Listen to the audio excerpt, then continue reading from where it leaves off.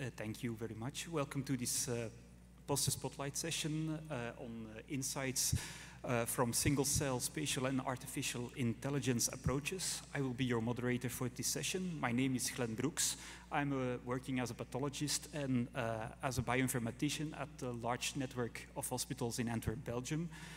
Um, normally, uh, my colleague Roberto Salgado would have moderated this session, but she, he couldn't be here in time, unfortunately. Uh, he asked me to apologize on his behalf. We have a very full session. Um, each half of the session will comprise of uh, four uh, presentations, uh, followed by a discussant and a panel discussion. Each presentation can take up to four minutes so that the discussant and the panel discussions can have uh, each have seven minutes duration. As first, I would like to introduce Marit Fjørtoft uh, to the podium to present her uh, presentation.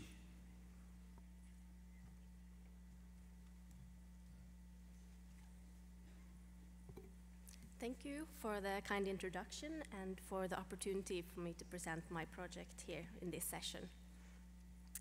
The aim of this study is to explore connections between the immune profiles of primary tumors and the corresponding lymph nodes. We have used 56 samples from the Oslo 2 breast cancer cohort, 28 primary tumors, and 16 matched sentinel nodes with met without metastasis, 5 sentinel nodes with metastasis, and 7 metastatic axillary nodes. The samples were dissociated into single cells and uh, stained by a 47 antibody marker panel and analyzed by mass cytometry. The samples were then clustered using FlowSOM clustering algorithm, uh, which identified 34 immune cell populations, four tumor cell population, and two apoptotic cell populations. In figure 1a to the upper left, we look at the immune cell composition in primary tumors and lymph nodes separately. The bar plots show all 34 immune cell clusters colored by its main cell population, and we see how the immune composition differs between the two tissues. In figure B, when dividing the primary tumors and lymph nodes by the clinical parameter lymph node status, we look at each of the 34 immune cell clusters separately, here shown by CD4 naive and CD8 exhausted T cells. And we find that in the lymph nodes to the far right, there is a skewing from naive to exhausted T cells in the metastatic axillary node samples compared to the sentinel nodes. However, we find no differences between the primary tumors, regardless of the lymph node status we performed unsupervised clustering of primary tumors and lymph nodes separately, which resulted in three and four immune profile clusters, respectively.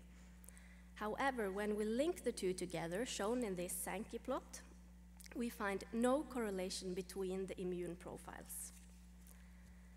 And from a separate cohort with more focus on tumor cells, we find that tumor cells in small lymph node metastases have a mesenchymal-like phenotype, by higher expression of the EMT markers vimentin and CD44, and a lower expression of the epithelial markers EpCAM, pancytokeratin, E-cadherin, and estrogen receptor.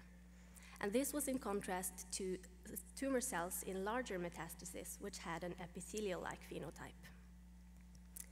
So to conclude, the immune cell composition in lymph nodes uh, depends on the lymph node status, the immune cell composition in primary tumors does not depend on the lymph node status, and the immune cell composition in the lymph nodes are not reflected in the primary tumors. And tumor cells from small lymph node metastases have a mesenchymal-like phenotype, while tumor cells from large metastases have an epithelial-like phenotype. And as a next step, we want to validate the tumor cell findings by multiplex immunofluorescence, and we are also currently analyzing data from 450 sentinel nodes, both with and without metastasis. And we will investigate the immune profiles further, focusing on breast cancer subtypes.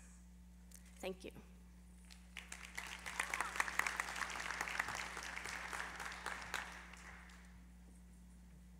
Our, our next speaker is uh, Yi Jiao Jiang from the Fudan University uh, Shanghai Center in uh, China. He would uh, log in online for this session. I don't know if it's working already. Hello.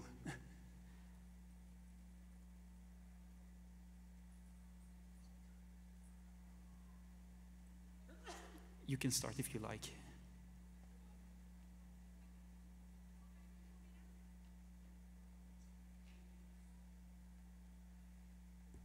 We need more sound.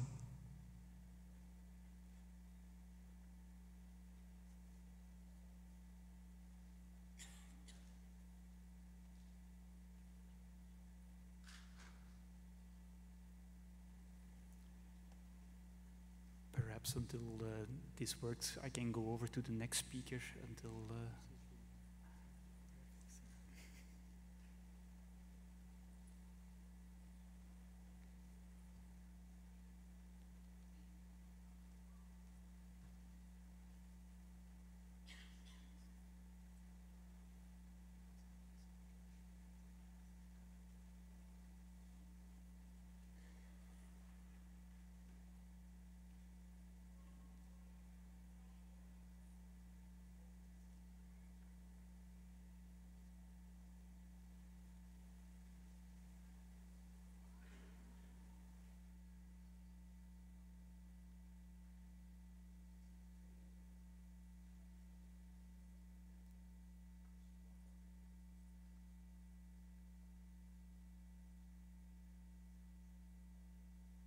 Hi there, can you hear me?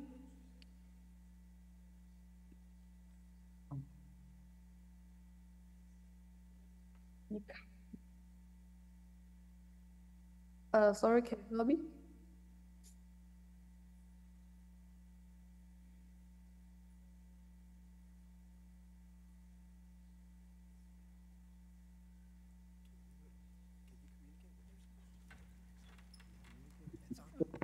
Yeah, hello. Um, welcome. Um, you can start if you like. Uh... Okay, thank you. Sorry for the technical issues. Thank you all. It's my pleasure to be presenting here. And I'm Dr. Ying Xu from Fudan University Shanghai Cancer Center. Before diving into the topic of my presentation, I would like to extend my sincere apology Due to continuously adjusted policy of my hospital, I regret to be unable to deliver this presentation in person and apologize for any possible inconvenience like just now. And now let's focus our discussion. My presentation revolves around the exploration of single-cell metabolic profiling, uncovering a novel precision immunotherapy strategy in triple-negative breast cancer. And all of the co-authors have no financial relationships to disclose. As we all know, immunotherapy has emerged as a novel cornerstone in the treatment of TNBC. However, its benefits have been observed in only a limited subset of patients. The intricate metabolic interplay between cancer cells and microenvironmental cells removes the T TME and exerts a significant impact on the responses of immunotherapy. Thus, we aim to unravel the metabolic features of individual cell types within the TNBC ecosystem and re reveal the effect of their metabolic interplay on the efficacy of immunotherapy. To achieve this goal, we divided our research into four distinct steps. First, we developed a new TNBC immunotherapy cohort for single-cell RNA sequencing. Second, we conducted a comprehensive single-cell metabolic analysis to illustrate the metabolic features among cell types. And third, we delved into identifying representative cell subsets to propose the potential metabolic crosstalk and explored the underlying mechanisms. Lastly, we targeted the key metabolic crosstalk between these identified cell subsets proposing translational strategies for potential clinical application. Briefly, we performed a comprehensive single-cell metabolic analysis from three dimensions, metabolic genes, pathways, and fluxes.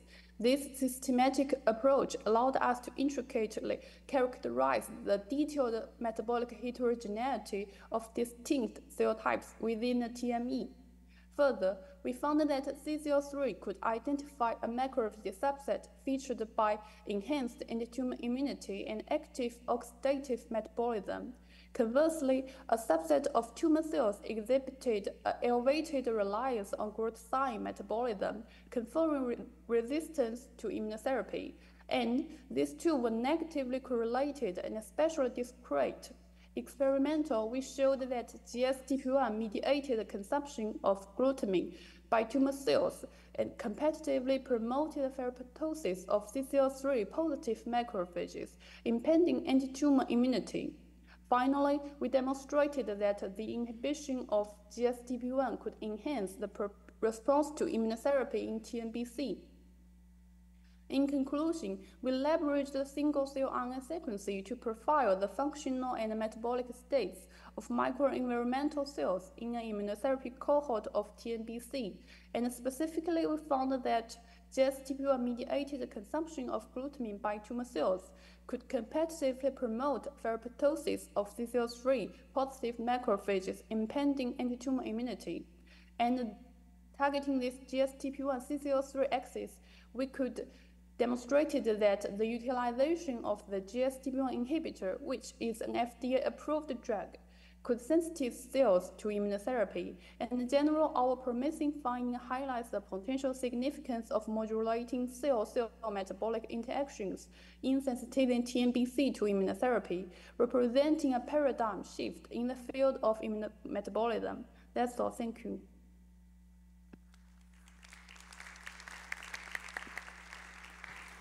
Thank you so much for your presentation. Our next speaker is Saranya Chumsri from the Mayo Clinic in Jacksonville.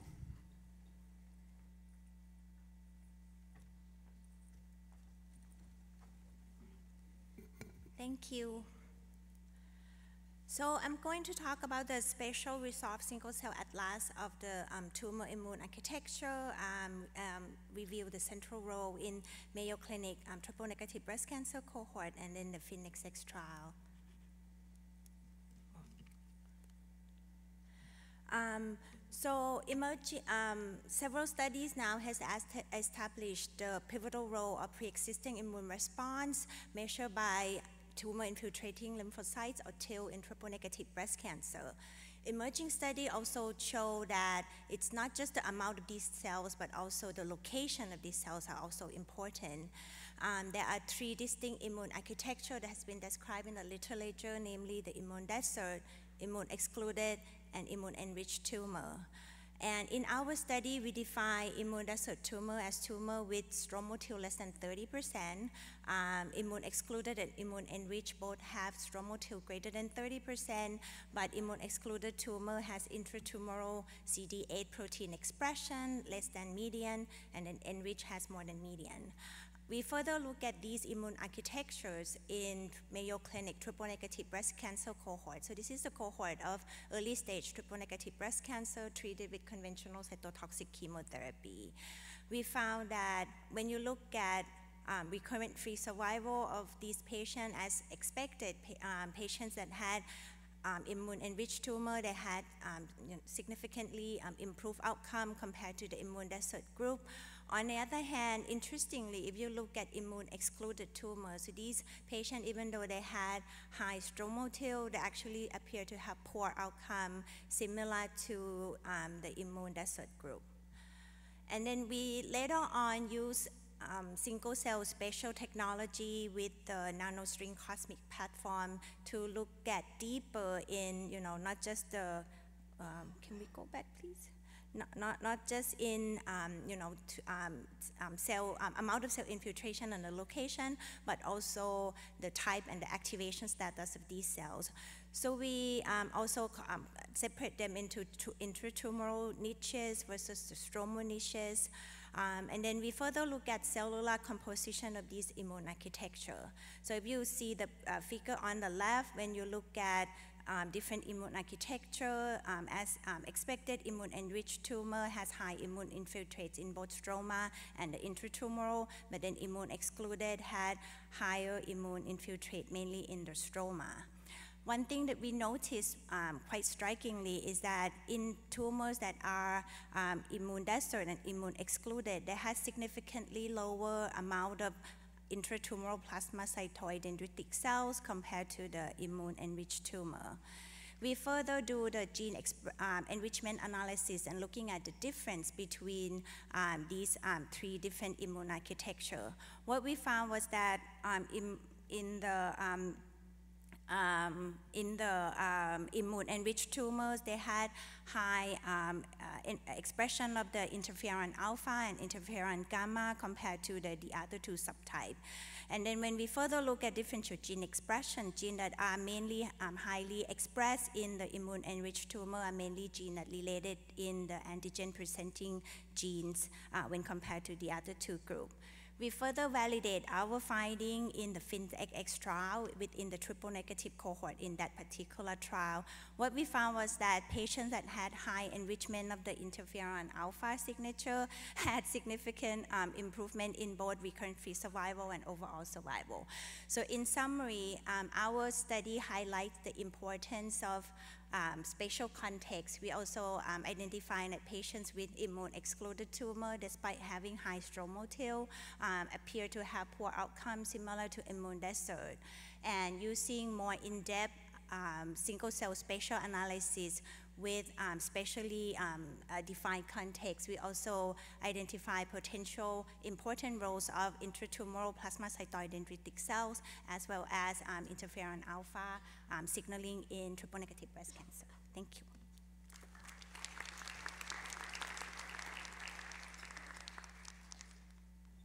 And then our next speaker is uh, Fabiana Napolitano from the UT Southwestern Medical Center at Dallas, Texas. Thank you very much. Um, on behalf of my co-authors, I'm going to present our results on how tumor immune microenvironment modulates resistance to estrogen suppression in ER-positive breast cancer, and I have no disclosure. Hormone-positive HER2-negative breast cancer is the most frequent subtype of breast cancer diagnosed worldwide, and recent evidences have demonstrated that tumor immune microenvironment plays a pivotal role in tumorigenesis, progression, and metastatic spread of breast cancer. Our goal is to investigate the role of tumor immune microenvironment in modulating response and resistance to estrogen suppression. To do so, we collected samples from a previous clinical trial that enrolled postmenopausal patients diagnosed with stage 1 to 3 ER-positive breast cancer. These patients were treated from biopsy until surgery with letrozole, an aromatase inhibitor inducing estrogen suppression. And based on the Ki67 scores at the time of the surgery, we were able to identify patients that were sensitive to the treatment and that were resistant to the treatment. The patients were enrolled in two different institutions, so we used the first cohort, and we previously have demonstrated that resistant tumors showed an upregulation of um, proliferation signatures as well as immune uh, gene-related signatures like interferon alpha, interferon gamma, and allograft rejection, we found that resistant tumors showed an enrichment of stromal tumor infiltrating lymphocytes. And we used cyclic immunofluorescence to analyze the intratumoral infiltration, and we found that immune cells were upregulated in um, the resistant tumors, in particular CD8 positive T cells and CD20 positive B cells. We are using now the second cohort to analyze the, the samples and to use the spatial transcriptomics to analyze the cancer cells compartment that are PAN-CK positive and the immune cell compartment identified by CD45. What we found in the surgical samples is that um, after treatment, the cancer cell compartment of the resistant tumor showed an upregulation of genes related with proliferation as well as with interferon signatures. In particular, we found pathways upregulated in terms of proliferation, T cell immunity, and antigen processing and presentation. In particular, we found T cell cytotoxicity and chemokine signaling. The immune cell compartment was analyzed using CIBERSORT to infer the cell um, immune cell subtype um, distribution, and we found the resistant tumors showed an enrichment of CD8 positive T cells as well as M1 macrophages, while sensitive tumors showed an upregulation of uh, Tregs. When we analyzed the immune cell compartment at the time of the biopsy, we found that prior to endocrine therapy, CD8 positive T cells are already enriched in the resistant tumors together with M0 macrophages, and in terms of pathway, we found an upregulation of uh, T cell proliferation, activation, cytotoxicity. In conclusion, using the spatial transcriptomics approach, we were able to validate our previous findings. Therefore, CD8 positive T cells are enriched in resistant tumors Tregs FOXP3 positive cells are enriched in sensitive tumors. Moreover, we were able to define the pathways upregulated in the endocrine-resistant tumors at both the cancer cell and the immune cell levels, in particular antigen processing, T-cell activation, chemokine signaling. We are currently investigating the chemokines, in particular CXCL9, 10, and 11. They were associated with worse relapse-free survival, and it seems they can stimulate uh, an endocrine and estrogen-independent proliferation of ER-positive breast cancer. And we are um, uh, investigating if these subtype of uh, tumor that are CD8 positive T cell enriched and enriched in the chemokines, if these can be the ones that can be um, uh, immune infiltrated and benefit from immune checkpoint inhibitors.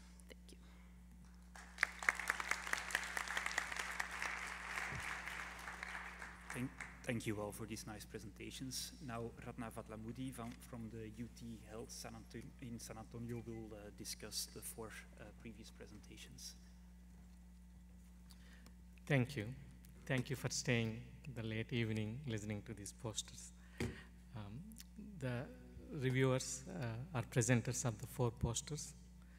I don't have any disclosure. So these are the four posters. I'm going to summarize very brief and their impact. So one common theme uh, in these not moving. Can you move the slides? It's not moving.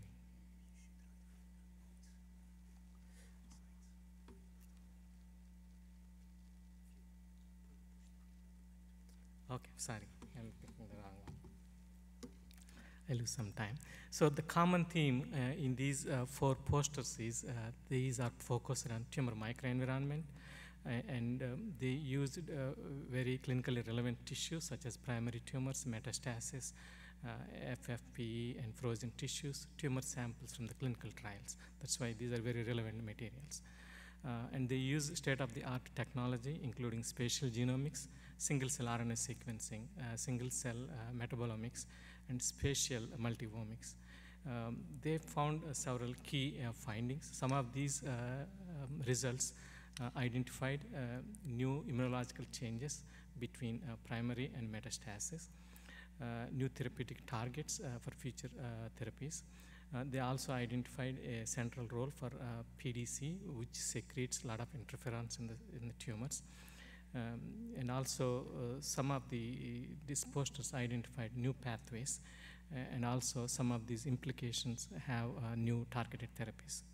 Uh, let's go with this slide. Uh, in the first one, uh, Ms. Marit and her colleagues um, analyzed single cell sequencing of primary tumors as well as metastatic tumors.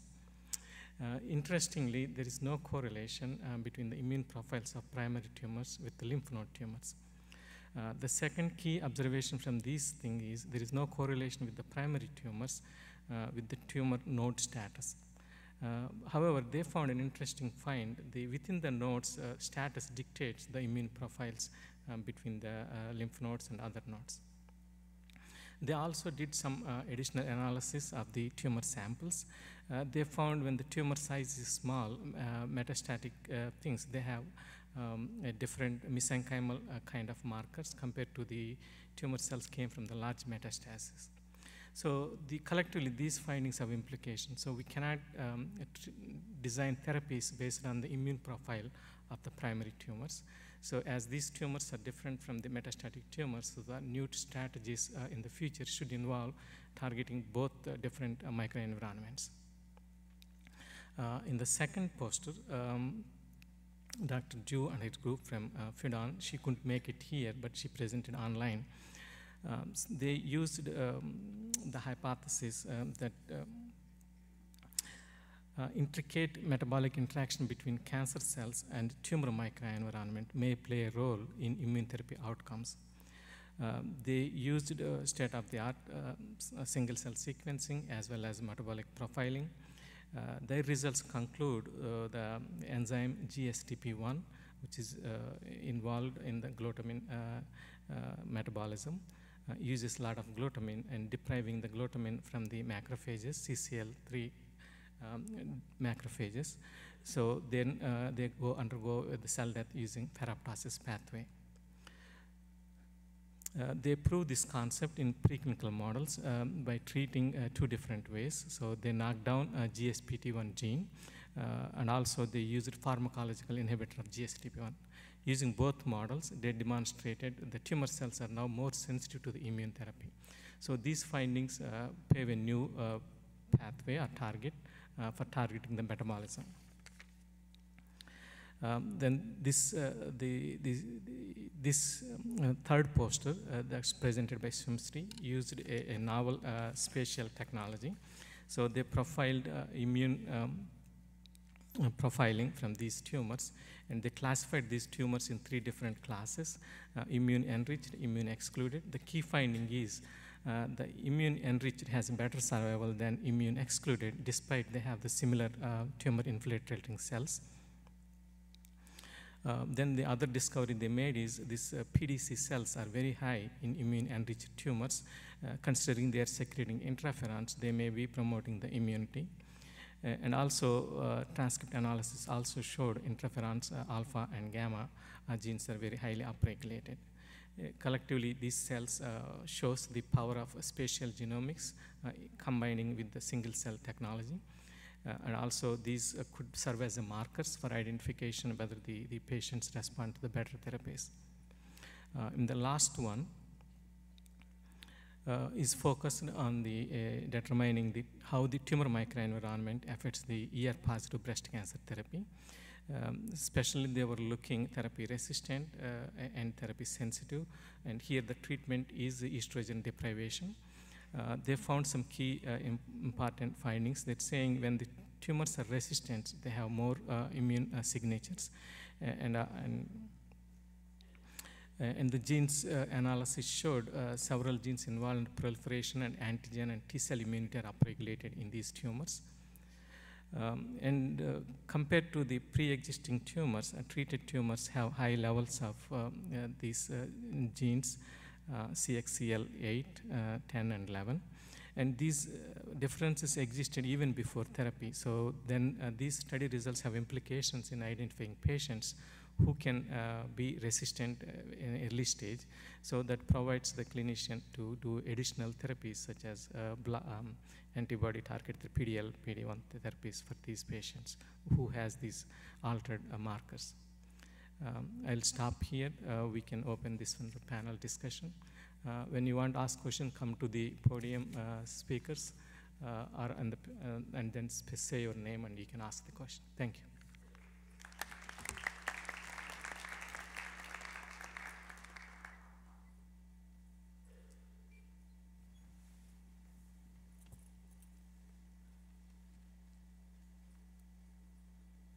So if anyone from the audience wants to ask a question, please go over to a mic.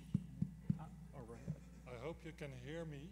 Not yet uh, the microphone as as is a bit be. low. but okay. Um, I will put it back, Marlene. Uh, I was wondering uh, regarding the talk about the single cell sequencing, the, the primary tumor versus the cells in the lymph nodes you don't see so much difference between the single cells in the primary tumor versus what you see in the lymph node. We know from studies done on metastasis, distant metastasis, that you might see quite a few changes there. Could that indicate that um, the metastasis to the lymph node is mainly a more passive process, not so much driven to additional um, yeah, mutation events or whatever? How, what, is, what is the biology behind it that you assume is there?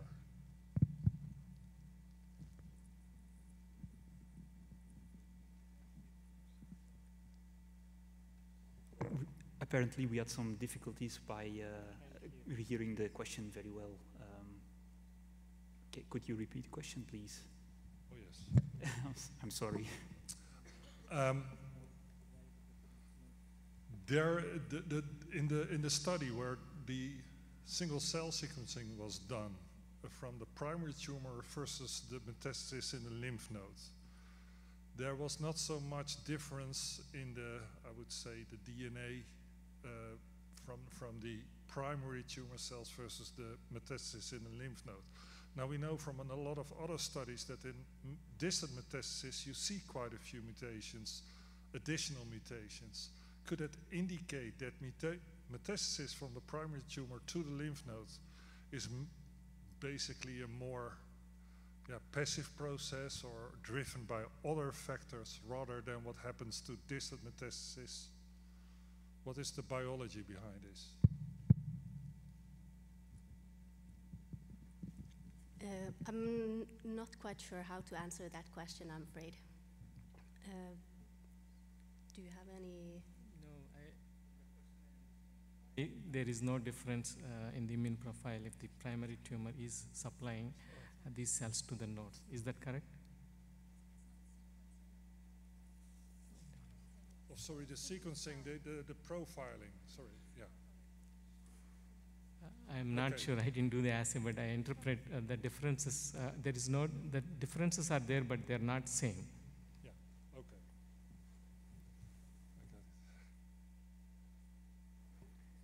it. Yes, please, the next question. So I have a question for Dr. Napolitano. Uh, congratulations on your work. Um, it's of course very counterintuitive, right? That um, a resistant tumor has more immune effector cells.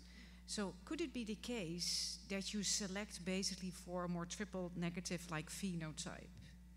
And that we shouldn't conclude that we are inducing a kind of anti-cancer immune response, but it's simply reflecting that biology changes by the pressure of endocrine treatment.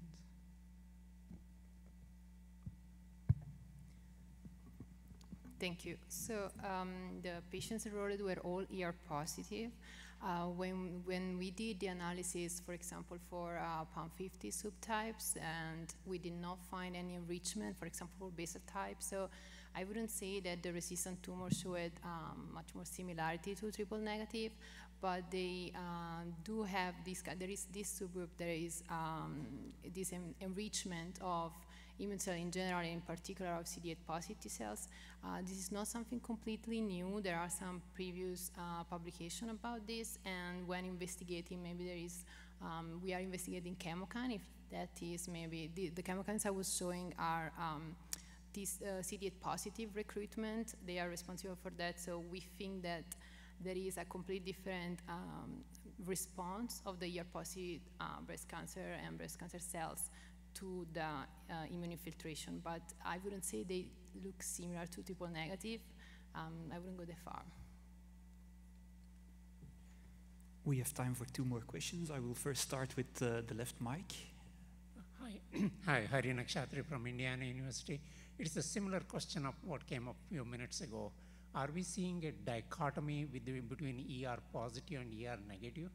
Have you looked whether your T cells are exhausted phenotype? And surprise is the T regulatory cells enrichment showing the superior outcome. That seems to be odd with most other data. Um, I think I, I understood uh, the first half. The second half was not very clear. Here we have some kind of problem with the, uh, with the acoustic. I think on the CD8 positive T cells, you've asked. Are they exhausted phenotype? So um, I cannot say for sure because we did not do a single cell on that, but we did investigate the cytolytic score that is highly enriched. So we uh, can, this kind of suggested there is at least an IRM. We compared the cytolytic score uh, in the resistant versus sensitive and they are um, hyperactivated. So those that are there, they have, uh, they seem to have an, uh, an, an, activity, uh, a positive activity. So they do like, they are like anti-tumor. And I think there was another part on Tregs. The Tregs. Yes. Usually, if you have more Tregs, that is associated with bad outcome, but in your case, you are seeing a good outcome. So um, the Tregs, we found them enriched using multiple analyses, so multiple approaches.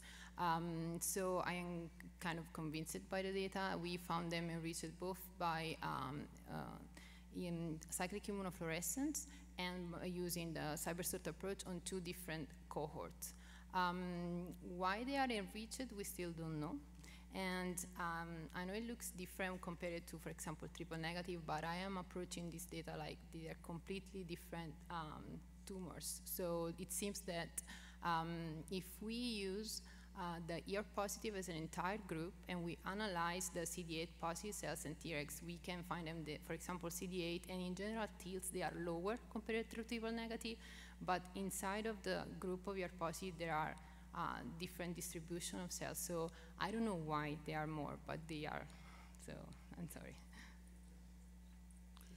Yes, Aubrey Thompson, Mayo Clinic. Uh, a comment, really more than a question, related to the analysis of the immune microenvironment surrounding cells in a tumor nest versus those in a lymph node. When you use single cell sequencing, conventional single cell sequencing, you lose all spatial context. So I, I, think you need to be uh, you need to be careful in terms of interpreting those data because you don't really know whether you're interpreting the characteristics of the immune cells that are actually within the proximity, immediate proximity of the tumor cells or not. That's the question that you really need to answer.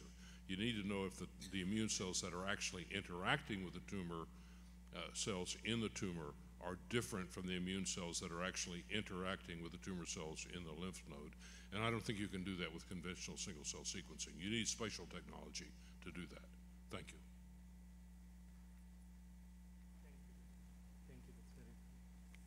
Thank you so much. Uh, thank you to all the speakers from the first half. Then I would like to invite all the speakers from the second half and also the discussant, of course.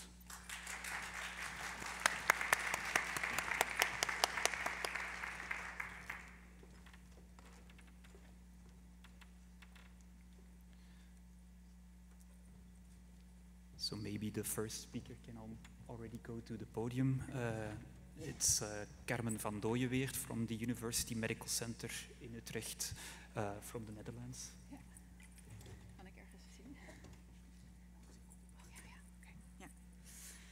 right. Thank you very much for the opportunity to present our research here.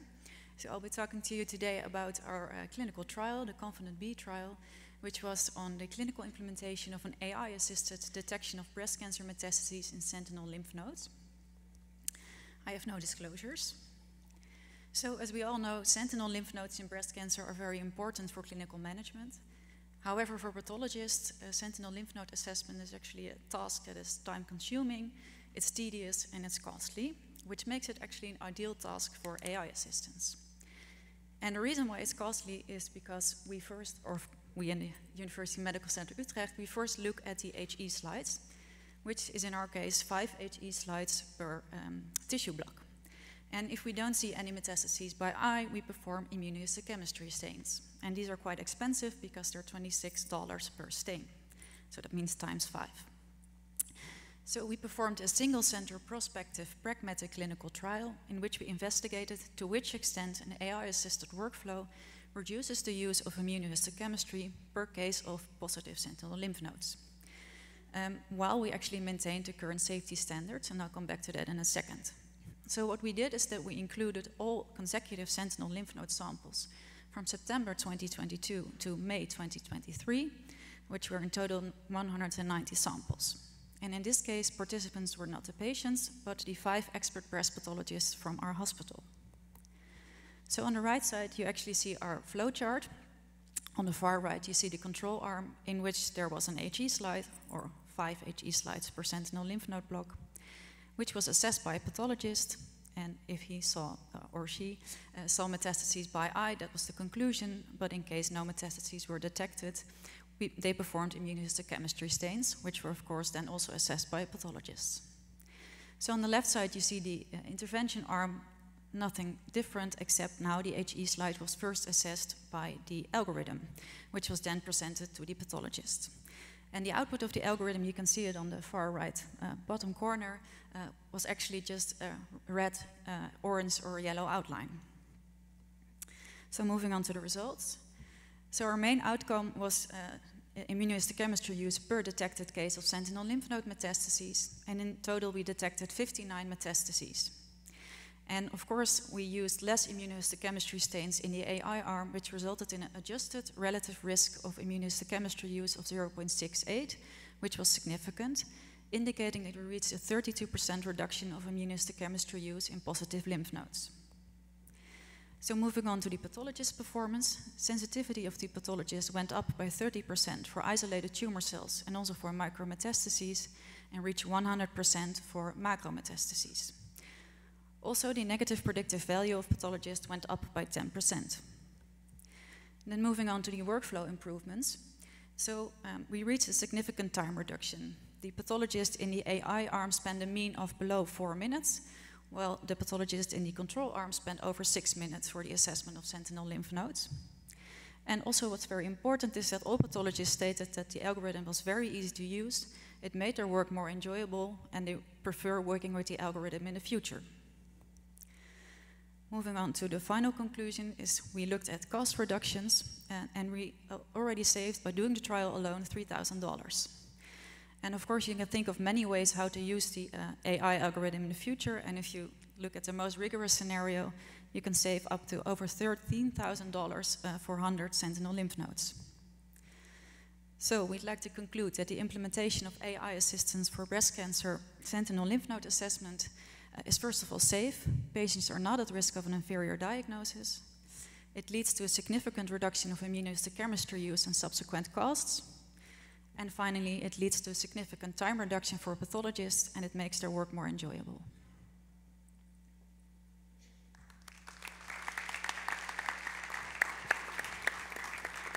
Our next speaker is Marcelo Sobral Leite from the, the Netherlands Cancer Institute in the Netherlands. Good evening. Um, I'm uh, happy to present for you a morphometric signature that I developed at Netherlands Cancer Institute that's able to detect uh, DCIS, uh, ductal carcinoma in situ DCIS that have low risk of progression to invasive. Um, I have no disclosure. Um, so, uh, as you know, primary DCIS uh, is a pr potential, potential precursor of invasive breast cancer. However, a lot of those lesions will never uh, happen to become invasive. Once we don't know how to distinguish progressive from non-progressive, a lot of these women are treated uh, heavily with uh, uh, surgery uh, and also with radiotherapy. So it's really needed to have clinical biomarkers that can distinguish hazard from harmless, and then we can better decide treatment uh, decision. So um, we hypothesized that the size of the CIS ducts, um, the uh, geometric features and spatial configuration of those have kind of um, relation of with the invasive uh, potential. Uh, so to answer this question, um, we then developed one artificial intelligence-based uh, DCIS morphometric analysis pipeline um, that um, uh, is based on the steps of first uh, se selecting, segmenting the stroma, and um, detecting the CIS as pathologies, and also nuclei inside the DCIS ducts. And this is shown to have a very good yeah, agreement with pathologists, and we end up having the uh, um, duct information of, uh, with 15 morphological measurements uh, we summarize the variation of these morphometric features um, in uh, 55 morphometric variables uh, that we can get from every H&E slides, like uh, average ductal area, total number of, uh, of cells inside ducts, um, and we analyzed um, the 689 H&E slides coming from a Dutch cohort of prime DCIS and we selected patients that uh, received the breast conservative surgery only, the CIS. Um, we analyzed uh, um, cases that we call the patients that uh, uh experience uh, uh, invasive progression during follow-up, with a median follow-up of 12 years, and also controls that never had any progressive disease. Um, then when we analyzed the ridge regression with cross-validation, we saw that these 55 morphometric variables have some prognostic value able to distinguish those that will progress from those that will not. Uh, when we look to the hierarchical clustering, then you can appreciate that, uh, yeah, I selected the four main clusters in colors of the dendrogram, and then you can see that, uh, appreciated that the blue signature uh, are those that contain low values of uh, area of the ducts, low number of cells, compared with the red signature that have more expensive um, ducts with larger uh, disease. Um, we concluded then that this morphometric signature identified DCIS lesions with low risk of progression. As you can see in the uh, ratio of uh, uh, the invasive breast cancer risk uh, curve, you can see that the blue signature showed a low risk of uh, progression during the follow-up, uh, even when we um, correct for grades, for at diagnosis, ER, and HER2 receptors, and COX-2 receptor as well. this signature is characterized by uh, ducts uh, or H&E slides that contain ducts with uh, low DCIS stroma ratio, for example, in which lower number of DCIS stroma ratio is, is lower sized um, ducts. Um, we think that this uh, approach has a potential clinical utility to de-escalate DCIS management, and we are very keen to collaborate to uh, further validation of, this light, of these uh, results. And thank you for all collaborators and patients. And thanks for the Basic Science Award in, today, in this year. Thank you.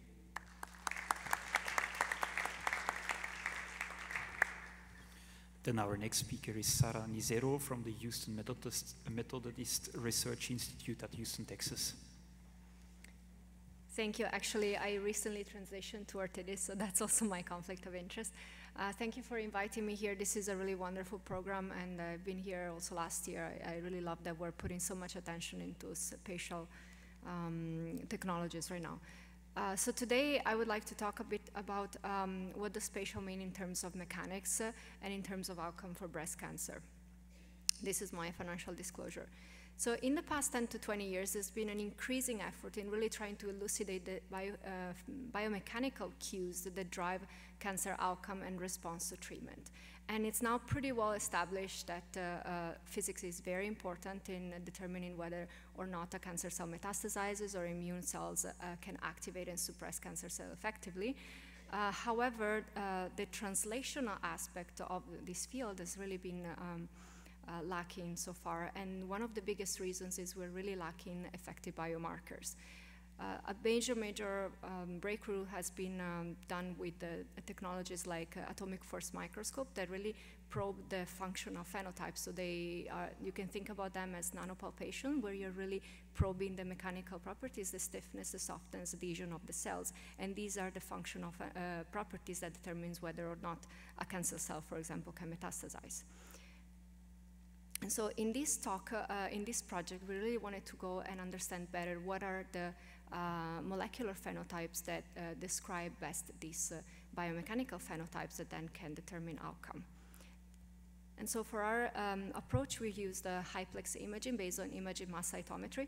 We developed two different panels to understand, uh, uh, to look at the cancer signaling, immune and mechanical markers. And then uh, uh, we analyzed this. Um, we had a patient, big patient um, data set, so we could correlate all of our results with um, clinical outcome and um, uh, survival.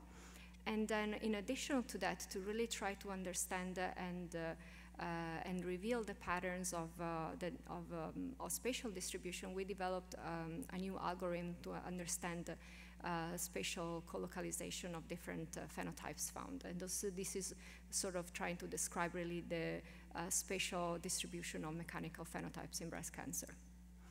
And so among our results, uh, we first of all identify more than 50 new biomechanical phenotypes in breast cancer, and we interpreted them correlated with the uh, clinical features. And so I just want to show you a couple of examples, and I'm happy to discuss more by my poster. Uh, for example, we identified that the um, signature of early breast cancer stiffening, which uh, has been correlated with good outcome by this study and other studies, is really uh, due to an increased expression of fibronectin. Uh, another one, uh, I have a couple here, another one that uh, we um, that's really interesting is we elucidated one of the mechanisms by which cancer cells become softer and then they metastasize, which is due to hypoxia-driven um, EMT And then finally, another uh, result that I wanted to share with you all is uh, uh, this, um, we have identified several uh, biomechanical different fibroblast phenotypes. And uh, we have identified a couple that are um, uh, tumor suppressing, tumor um, promoting as expected. And then also we have identified some that are more less intuitive and they seem to suggest fun protective function of some fibroblasts that it's really based on the, the building of a mechanical barriers around the tumor. And uh, there's been recently a lot of work in literature that it's emerging now that's really showing that fibroblasts are a very interesting population of cells and it's not uh, obvious whether they're always promoting or always cancer uh, suppressing. And so this is something that perhaps with uh, more understanding on their mechanical phenotypes we can really try to distinguish. And lastly, I just want to uh, leave you with what the next steps for us are. We are currently, uh, we opened a couple months ago this uh, uh, multi-center clinical trial, prospective clinical trial led by Dr. Thompson, at, uh, where the first sites are going to be Baylor College of Medicine. Um, and uh, in here, really, we're trying to validate further the power of nanomechanical signatures in predicting outcome of breast cancer. Thank you.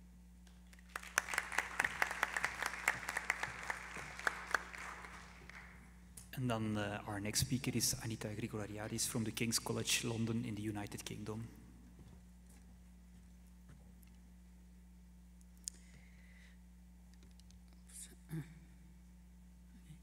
Well, uh, thank you very much for giving me this opportunity to present our observation that age-related features differ in normal breast tissue from women with germline BRCA1 and 2 mutation.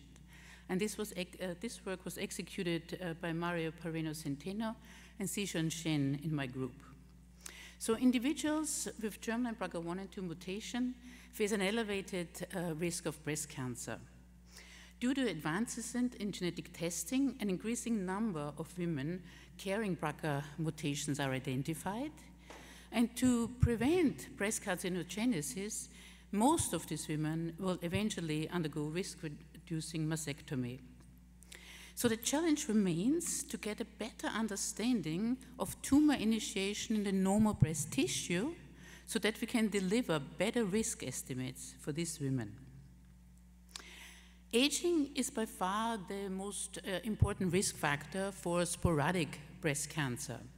And during aging, the human mammary gland continuously undergoes tissue modeling, which is most uh, prominently reflected in lobular involution. In 2022, uh, De Bel and colleagues have shown that lobular involution can be captured well on digitized whole slide images from uh, H&E stained normal breast tissue.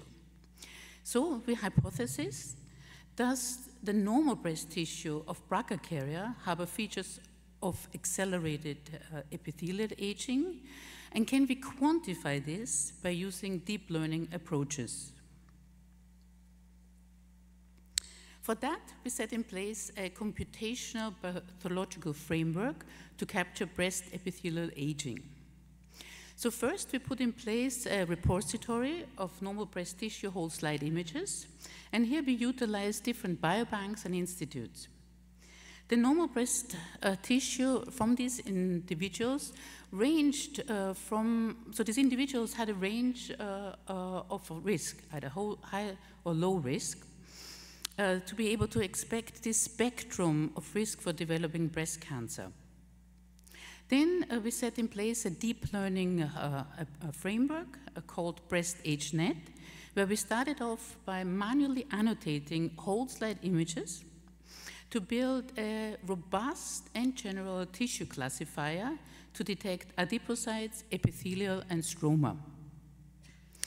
Focusing on the epithelial, we then built an age classifier with which we were able to identify where this uh, normal breast tissue was derived from either a woman under 30 years of age or over uh, 50 years of age. We applied BreastAgeNet uh, to uh, external validation cohorts of normal breast tissues of non-BRCA carriers, and we saw a good performance on the whole slide level and the tile level.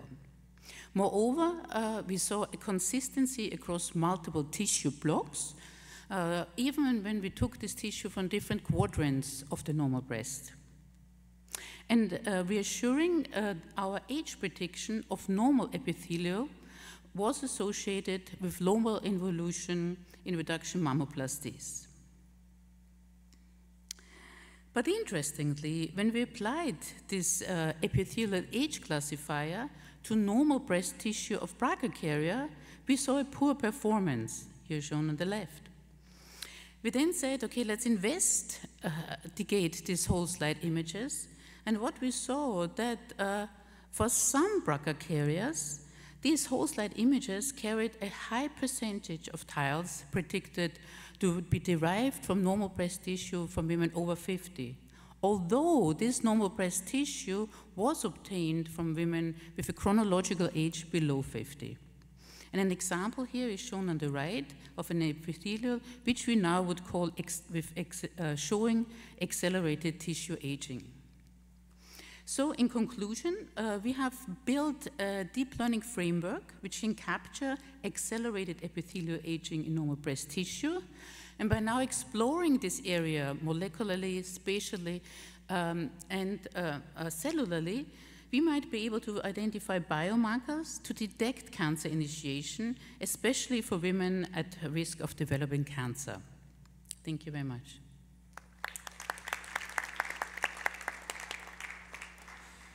And now Eugene Douglass from the University of Georgia will uh, discuss these four presentations.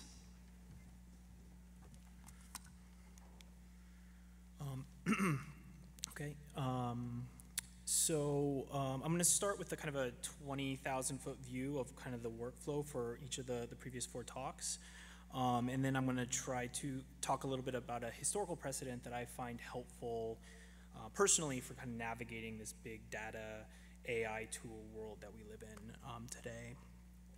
So the, the, the, first talk in this session, of, or this panel of this session, uh, focused on kind of questions about the validity and utility of AI um, digital pathology tools um, to evaluate uh, lymph node metastases. And uh, fortunately, they found improvements in sensitivity, um, cost, and, time, sort of attesting to the potential utility of AI assistance um, generally. The, the next three talks um, were a little bit more basic, focused more on kind of tool development, and there was also some generation of some novel biological insights. Um, so the, the fourth talk um, uh, that we just heard um, focused on more normal tissue and building a classifier to predict tissue age. And one of the key insights they found was that um, germline BRCA mutations seem to be associated with some sort of accelerated um, aging phenotype, um, which can be defined by morphological features. The, um, the third talk uh, focused on DCIS data um, where they trained a classifier uh, to predict uh, potential future invasiveness. And um, some of the key insights uh, basically involved uh, DCS size and cellular ratios um, that seem to show reproducible predictive power. And finally, um, the, the, the final talk uh, used, or I guess the second talk, used uh, spatial spatial proteomics technology to ask certain questions about uh, tissue biomechanics. And um, they basically found that um, certain characteristics of fibroblasts um, uh, that were associated with hypoxia and epithelial to mesenchymal transition um, pathways seem to be associated with treatment response. So, so these are very diverse studies that are kind of uh, where they develop tools that were trained on diverse data sets and have very kind of distinct biological insights about different stages of um, breast cancer development. And so, so how do we kind of in general, um, with all these kind of new tools and new insights that are being generated, how can we kind of navigate all of this information and kind of try to distill it into um, sort of relevant, meaningful insights that we can do something about? So, um, so I find it helpful to actually uh, use the history of quantum mechanics as a, um, as a model to sort of think about how to kind of navigate these questions. Um, because um, 100 years ago, um, a lot of the development of early quantum mechanics uh, was kind of based on similar big data challenges as we have today in genomics and single cell um, in, spatial technology, where basically a new technology um, basically generated a lot of um, big, very, very large data sets. And those data sets were initially only really parsable with statistical models that really quantified trends and didn't really give us uh, information about like what those trends mean meant. But ultimately, those statistical models translated into new insights, you know, which, like Planck's law, that, you know, eventually changed the world. And I first read about this story 10 years ago when I was a computational postdoc. Um, and this quote in particular, I think, really kind of struck me um, because it feels even more applicable today um, in our modern world of, um, you know, modern computing and the internet um, than it does to, to 1903. But anyway, um, that kind of big data revolution started in around 1900, and then 30, around 30 years later, a lot of kind of ad hoc observations that were kind of recurrent across a lot of different systems started to be reconciled into a system of new ideas that was basically called quantum mechanics, which, you know, as we know from the movie Oppenheimer, uh, sort of revolutionized nuclear energy, but also people don't know as, as, as well that it kind of revolutionized, revolutionized modern organic chemistry, directly leading to our ability to, um, to image the double helix of DNA um, because of restrictions on bond angles. Um, and together, organic chemistry and molecular biology, biology have obviously had important roles for, the development of modern precision medicine. So, so, so anyway, um, the, the kind of point of talking about all this is um, in 1903 and today, I feel like often with a lot of these data sets and a lot of these insights that there's, there's common patterns, we often feel kind of lost in a sea of data and tools, and it can be hard to navigate. But the, the key lesson I kind of learned from those biographies I read was that focusing on the kind of the common threads, the common logical um, trends across data sets could ultimately um, lead to uh, new, new procedures that significantly reduce the labor of, in physics case, mechanical calculations or data quantification or parsing um, for, for our data sets. Um, and ultimately, the discovery of new principles as a direct result of the kind of automation of the, the kind of rote, difficult labor. So, um, and as, as was talked about in the previous panel, some of these new technologies are directly enabling us to sort of apply the principles of physics at a systematic level to the tumor battlefield um, in a way we've never been able to previously. So, in, in summary, um, I think the, you know, it, sort of the, the key way to sort of pull together a lot of these, the, these large data sets, these new insights, and these new tools um, is to sort of focus on the kind of common threads, the common rules between them, um, where ultimately the hope is that these recur recurrent ideas will basically lead to new ideas that can um, sort of change the world where ultimately these AI tools are not necessarily um, entirely the end, but kind of a means to reducing the workflow so that we can kind of focus on the, the new ideas that are necessary for, for today's challenges. And um, I think one of the kind of current sort of trends across all of these studies was basically kind of the functional roles and flavors of the, the stroma. Um, um, and so, so yeah, so, so that's, that's, that's basically my summary. Um, hopefully this, this historical precedent is as useful to you as it is, for, to, it is to me in navigating this new, very, very large literature. So thank you.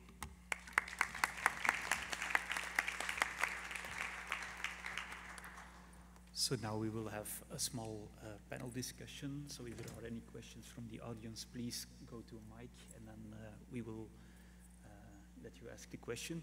Maybe I would start by addressing something that I've learned from the first uh, presentation from uh, this uh, half of the session is the cost for machine learning or for artificial intelligence in general for pathology labs. That's usually a huge problem because, well, larger labs have the resources to create their own models, but the smaller labs would need to rely on vendors, and vendors come with a high cost.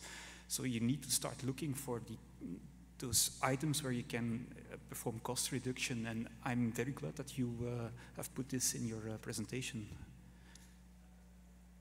Uh, yes, at the left mic. My name is Carlos Martinez from the University of Edinburgh. You, you, need to talk a little bit louder. We right. can't hear you. Okay, is that better? Yeah. Yeah, my name is Carlos Martinez from the University of Edinburgh. I had a question about the DCIS poster. Two questions, really. Uh, so, uh, if I understood correctly, you identified this subgroup of samples uh, that were basically smaller lesions with like a different uh, ratio, cellular ratio. Uh, question one, do you think the time of diagnosis may be a factor, as in uh, has this DCIS have less time to develop and, and, and evolve? And question two, second part, do you think there might be something that's biologically different in this subset of DCIS lesions? Uh, like, meaning, are these DCIS lesions genetically or transcriptomically different? And is that something you're interested in looking at? You mean radiological differences? It's, uh, it's, very difficult to uh, uh, hear the, the, the, question here. The sorry, do you think they're biologically different? Besides, biologically. Besides being oh, yeah. smaller, like at a genetic yeah, this, or transcriptomic level. This yeah. study, thanks for your question, very, very uh, good question. It, it, this study was also inspi inspired by one uh, study uh, with mouse models in which, yeah, one postdoc in the department, he used fresh tissue to inject yeah, um, DCIS uh, lesions, fresh DCIS lesions into mice. And uh, later on, after uh, observing these mice after 12 months, uh, he observed that uh, by, via 3D analysis, via 3D uh, imaging of these the lesions that grow after 12 months, he saw that some lesions were very um, small and they call replacement growth and the other lesions were like more expanded, so they called it expansive growth. And then you saw that the expansive growth ones, they indeed they uh, uh, were more more uh, often becoming invasive. So then we tried to address this same question of measuring the size of the ducts, but in a 2D uh, way in order to have a more translational approach that can be used in database labs. So that's more or less the biology that has to do with, um, yeah, the background of study. Hope I answer. Hi, um, Chiara Corti, Oncology Fellow from Dana-Farber, Boston. I have two questions for the CONFIDENT-B study. Uh, the first one is related to the um, patient population.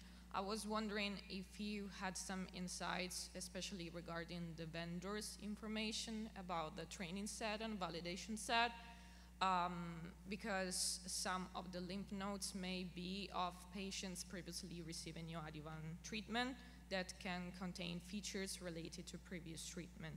And the second question is related to the cost effectiveness analysis, because you reported a cost of more or less 3,000 euros but I was wondering if it is related to an agreement with the vendor or if it is really so cheap because tomorrow if a person is running a pathology department, I'm wondering what would be the cost of purchasing this algorithm. Thank you.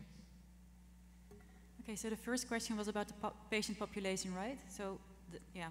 So we included all consecutive samples, which were from neoadjuvantly treated patients, but also adjuvantly treated patients, and those were actually all the patients that came in. Uh, there were no selection criteria. Um, so all subtypes are in there, receptor positive, receptor negative. Um, it's just what came up. Um, and we, of course, looked at all the receptors and all the character characteristics, and they were equally divided over both groups. Thank you. But do you know perhaps if the, the, the company provided information about uh, if patients with previous neoadjuvant treatment were included in the training set and the validation set of the algorithm? Yeah, we didn't know that, it, whether it was trained on neoadjuvant patients. Uh, we just use it, and it's actually quite good also on the neoadjuvantly treated patients, although it has a, lit, a, little bit more trouble. It has a lot of lot more annotations, uh, but still it's only, I think on average it was five annotations per slide, uh, which is a pathologist looks at it and sees in one second, oh, it's nothing. Um, so it has a little bit more trouble with the neoadjuvantly treated patients. Um, but it's still very good. And I think the second question was about the cost of the algorithm, right? Okay, so um, we have a, the license of this algorithm, um, and it was in a package deal with uh, Stainers, uh, and it's also a deal in which we get all new breast cancer algorithms in the upcoming three years from that company. So we, yeah, we really cannot give a price uh, for what we've paid because it was a package deal, but um, yeah, we think a couple thousand um, dollars for the algorithm. Uh, but still, I mean, if you look at the cost reductions, you earn it back quite fast. Okay, uh, we'll see uh, the, the cost in the market for other divisions without study, I mean, without an agreement. Thank you. We still have time for two last quick questions. Uh, first, uh, left mic. Yeah, Mark Basik from uh, McGill. Uh, question for Sara Nizzero. The um, very, very nice work.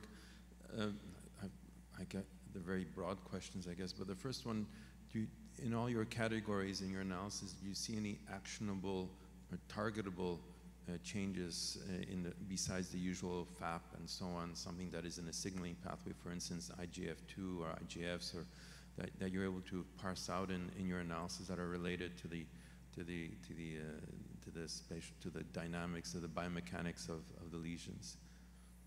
I love that question. Thank you.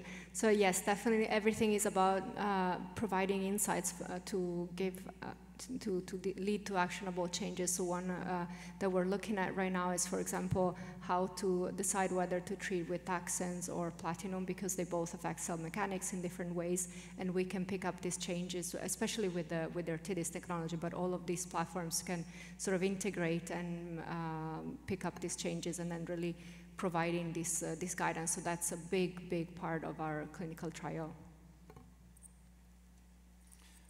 Then the last question at the right mic. Yes. Uh, hello, I'm Eddie Gill from uh, Texas A&M University. Um, I wanted to ask, what were some of the most surprising failure modes for each model, right? So some of the surprising false positives and false negatives I didn't hear it quite well because we are suffering from a lot of echo at the front. Yeah, what were what were some of the most surprising false positives and false negatives for the models? Things that you would have expected them to easily capture but weren't. Does he mean, do you mean in the algorithm or? Yeah, for the for the deep learning algorithms. Yeah, so it also pointed out a lot of benign structures, uh, nerves, histiocytes, um, all kinds of things, blood vessels. Um, but just what I said, I mean, a pathologist looks at it one second, oh, it's nothing, and moves on. So, and, and it's also reflected by the time saving, right? So it has a lot of false positives, but uh, still you're a lot faster because they only look at the outlines. Thank you. Thank you so much for everyone, uh, you from the audience to stay here until the very end with us. Also, all the speakers and discussants to be here for uh, making the session uh, very nice. Thank you so much. Also the organizers to help us out with all the techni technicalities. Uh, good night, everyone.